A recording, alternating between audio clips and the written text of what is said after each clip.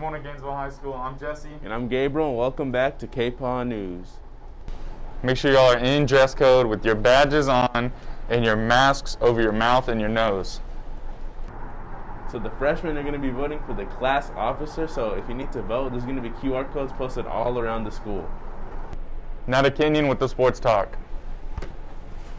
Uh, volleyball will be playing tonight at S&S.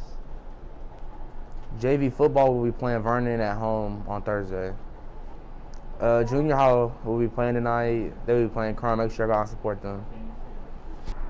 And for the weather, the hottest it's going to get is 84, and it's going to be raining pretty badly today. So That's it for today's KPAW. don't forget, every leopard, every day.